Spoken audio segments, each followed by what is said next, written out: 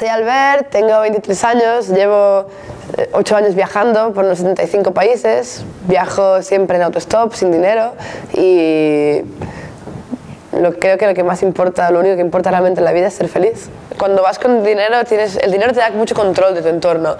El dinero te permite que si llueve y no quieres mojarte, te vayas a un hotel. Que si tienes prisa, cojas un taxi. Que si tienes hambre, te compras comida. Y todo ese control, para empezar, te da como, te garantiza ciertas cosas en, tu, en el futuro. Y, te da, y además te da una estabilidad que te libra de un montón de, de aventuras. Te permite planear tú lo que vas a hacer y te sumerge mucho menos en lo desconocido. Cuando vas sin dinero, es todo lo contrario. No sabes nunca lo que va a ocurrir. Sabes que si te mojas, te mojas y punto.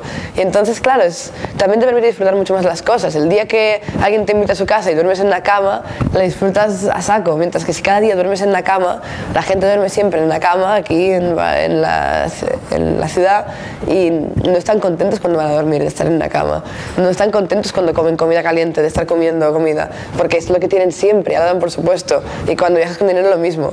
Al viajar sin dinero, te dan comida un día, un festín súper grande un restaurante y estás ahí súper feliz y disfrutándolo al máximo. Pero sobre todo, sobre todo es por eso, porque te permite no tener ni idea de lo que va a ocurrir y muchas veces el mundo, lo desconocido, te da aventuras mucho mejores de las que tú nunca habrías podido planear aunque te esforzaras. Bueno, salgo con cero euros, con nada, ninguna manera de conseguir dinero y salgo a lo mejor pues por un año o por medio año. Y entonces pues tengo en general una dirección o un lugar donde quiero llegar más o menos pero no es nada no es nada oficial ni nada es simplemente la dirección. Entonces claro vas en autostop quién sabe dónde vas a pasar la noche. A lo mejor en la playa o en un parque o en la calle. A lo mejor en casa de alguien que te invita a su casa y te acoge y estás ahí. A veces te encuentras gente súper guay con la que puedes hacer cosas y te quedas una semana con ellos. A veces estás un día en una ciudad y ya te vas es básicamente hacer lo que te apetezca cada día, levantarte por la mañana y pensar qué quieres hacer y hacerlo. Bueno, tiene ventajas e inconvenientes. En mi caso, no muchos inconvenientes porque mi discapacidad es muy leve.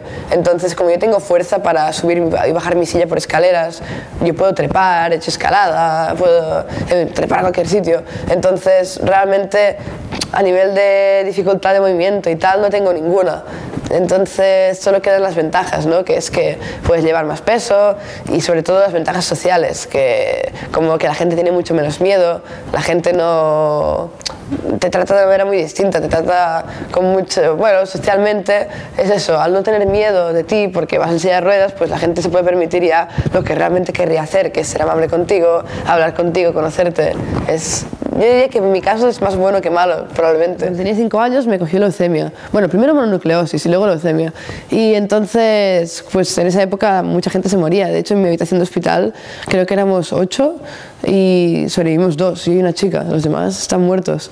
Y nada, en un punto me dieron, bueno, estaba la cosa chunga, me tenían que dar más medicación, pero sabían que podía hacerme con efecto adverso la medicación y tal. Y me la acabaron dando porque si no me habría muerto, pero me hizo en la silla.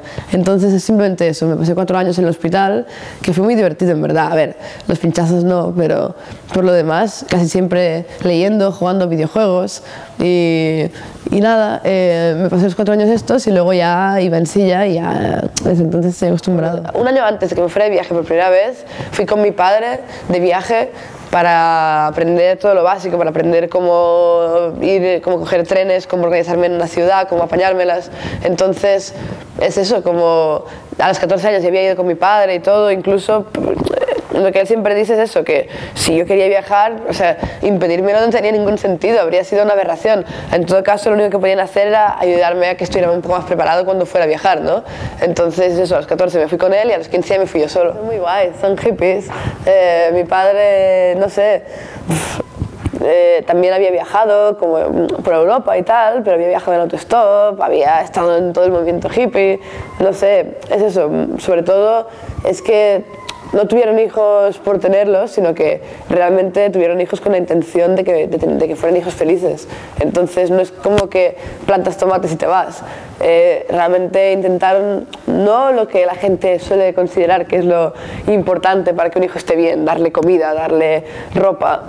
Eso no es lo menos. Intentaron más bien prepararme para pensar por mí mismo, para que pudiera vivir la vida que a mí me hiciera feliz, para, para un poco protegerme de toda la mierda que la sociedad mete en la mente de la gente desde que nacen y que muchas veces es lo que les impide vivir como ellos quieren para que pudiera ser yo quien eligiera la manera como quería vivir la vida. Muchas veces veo gente que vive con dinero y que, y que está feliz porque es lo que han elegido y es lo que lo han pensado, incluso han probado otras maneras de vivir y han acabado eligiendo esta, ¿no? la estándar.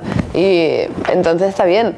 Pero es eso, cuando veo a otra gente que nunca se ha planteado miles de las elecciones que hay para elegir, ¿no? Que es esto, la cuestión es que tú naces aquí y esta sociedad te da una serie de ideas que ya vienen em, dadas como, no como una opción, sino como la verdad. Necesitas dinero para vivir, necesitas trabajar para poder vivir, Em, tienes que casarte con una persona, tienes que amar a una sola persona y casarte con ella. Ahora ya, por ejemplo, bueno, ya no hace falta que sea del otro género, puede ser del mismo género que tú, así ya está cada vez más aceptado, pero una persona, eso sí. Em, tienes que tener hijos, bueno, en otras sociedades tienes que creer en una religión concreta, aquí eso ya no tanto, pero las ideas están ahí, hay, hay, un montón de, en cada sociedad de ideas que te las presentan como una verdad. El mundo es así, la tu dignidad está medida por tu éxito dentro de esa sociedad, el valor que tienes está medido por eso, por dinero, por tal. Y claro, el problema es que la mayoría de gente nunca se va a plantear si esas ideas son las que ellos creen de verdad, las que ellos les van a hacer más felices, o si simplemente mm, hay otras que les gustarían más. A lo mejor hay personas que estarían más felices siendo monje en un monasterio del Tíbet, a lo mejor hay personas que estarían más felices eh, viviendo en una comuna hippie en Nicaragua, pero nunca van a probar esas maneras de vivir. Lo único que importa realmente es ser feliz, cuánta felicidad has conseguido experimentar antes de morir. Entonces la cuestión es esta, que em, en, en, nuestra sociedad se pone mucho énfasis en unas maneras concretas de, de, ser feliz y muy poco en otras, que muchas veces son mucho más trascendentales. Te dicen eso, que para ser feliz necesitas tener más dinero, más, uh, más cosas, un coche, una casa que esté calentita y a lo mejor eso no, te importa para nada a la hora de ser feliz. A lo mejor lo que necesitas para ser feliz es tener un grupo, o sea, yo qué sé, es amar, tener un grupo de gente con la que estés bien, tener libertad, para no tener ninguna obligación ni responsabilidad. Esas son cosas que mentalmente están mucho más cerca, o sea, de lo que, para lo que nuestra mente está hecha, para lo, para lo que nuestra mente está diseñada, es mucho más. Eh, para, no, para no tener responsabilidades, para no tener que estar acordándote, mañana tengo que hacer tal cosa. Ese tipo de cosas perjudican mucho más, creo, en, en mi caso, por ejemplo, tu felicidad, que no el hecho de dormir en la calle en lugar de dormir en una cama, porque en verdad es eso, estamos, mucho más, estamos hechos para dormir en la calle o en el suelo, eso no es problema, pero en cambio no estamos hechos para, para vivir en esa soledad, como propone la sociedad occidental, no estamos hechos para no tener una tribu de, en la que te puedes sentir integrado. no estamos hechos para vivir solos en... Que bueno, ¿qué es eso? Que todo es relativo. Y para mucha gente será perfecto y será así. O sea, lo importante no es vivir de una manera o de otra, no es vivir con dinero o sin, o vivir en comunidad o individualmente. Lo que importa es que seas tú quien elijas cómo te gusta vivir. De hecho, gran parte de esto no es algo tampoco externo. No es que estés tú solo en el mundo intentando encontrar la manera correcta o el sitio correcto donde vivir o tal. Eh, en verdad el 90% del trabajo es propio, es en tu mente, es preparar tu mente para que te guste el mundo, no preparar el mundo para que te guste con la mente que te ha tocado, ¿sabes? Es mucho más en general el trabajo que haces de cómo pensar correctamente, cómo pensar con, racionalmente para que las cosas te hagan feliz y no lo contrario, que no el hecho en sí de lo que haces en el mundo, ¿no? O sea, que todo es, es, reflexión en verdad. Como el 50% de las personas se piensan que soy una chica, porque como no tengo barba y tengo la voz muy aguda, además es muy bueno porque en general siempre puedo elegir lo que quiero ser. En sociedades como la de aquí es, me parece mejor ser una chica porque la gente es más amable contigo, te ayudan mucho más. En cambio, cuando voy para Oriente Medio o sitios así, pues elijo ser un chico porque es mucho más práctico allí. Así que está bien, está bien, estar en la frontera es lo mejor. Hay una parte que supongo que es innata en cuanto a nivel químico de cómo funciona tu cerebro, si tienes más tendencia a la depresión o no, de si, si agregas más serotonina o menos, ese tipo de cosas tal vez, y también cómo funciona ya la estructura de tu mente, ¿no?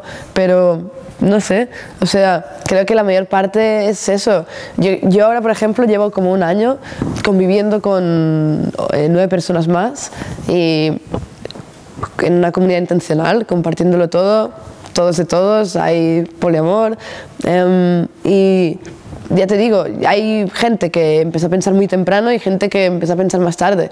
Los que empezaron a pensar más tarde en cómo quieren vivir están constantemente haciendo trabajo mental, por así decir, para eso, para adaptarse, para, para que su mente sea como ellos quieren que sea, para que ellos sean como ellos quieren ser. Entonces, cosas como, yo qué sé, alguien puede decir, por ejemplo, que no, no le hace feliz enfadarse, porque en verdad enfadarte, por ejemplo, es una emoción que casi nunca te beneficia en nada, ni a ti ni a nadie. Entonces, pues si lo decides, ¿por qué no hacerlo? ¿Por qué no prepararte para no enfadarte nunca? ¿Y por qué tienes que enfadarte si no quieres? Entonces, gran parte del trabajo tal vez es tuyo. Igual que eso, lo que decíamos, el poliamor. Hay mucha gente que dice, sí, sí, yo creo que lo que tiene sentido es esto. Igual que te, si tuviera tres hijos, los amaría a todos por igual y no amaría ninguno menos por tener dos más, pues ¿por qué tengo que amar a una sola persona? ¿Por qué tengo que amar a una sola pareja? Pero luego, a lo mejor se encuentran con que ya han vivido tanto tiempo en esa sociedad y con esas ideas que tienen celos. Pues es también su trabajo que te hacen ellos dentro de sí, de no sentir celos y de de poder vivir de la manera como ellos creen que van a vivir más felices. La mayor parte del trabajo es, es, dentro de ti. En mi caso es eso, tengo más suerte porque desde muy pequeño mis padres eran hippies y siempre me, no sé, desde muy pequeño tengo la idea de, de aprender a pensar como yo quiero. Entonces, no sé, yo, yo no recuerdo ni mis padres ni nadie que yo nunca me he enfadado en toda mi vida con nadie. Por ejemplo, por poner los ejemplos, yo nunca he sentido celos, pero, pero hay otras cosas que sí, por ejemplo, que he tenido que pensar. Por ejemplo, los deseos. Eh, eh, por ejemplo, muchas veces esperas que ocurra algo y si no ocurre sientes menos placer, sientes dolor, porque esa creencia ya la hacías real en cierto modo en tu mente. A lo mejor lo que sale a cuenta, decides, es no tener esos deseos y no esperar nada de lo que ocurra y pensar solo en lo que va a ocurrir ahora, lo que está ocurriendo. Pues si eliges esto, es tu trabajo mental no creer en esas cosas, no creer que van a ocurrir cosas. Eso, por ejemplo, sí que lo he tenido que hacer con cosas.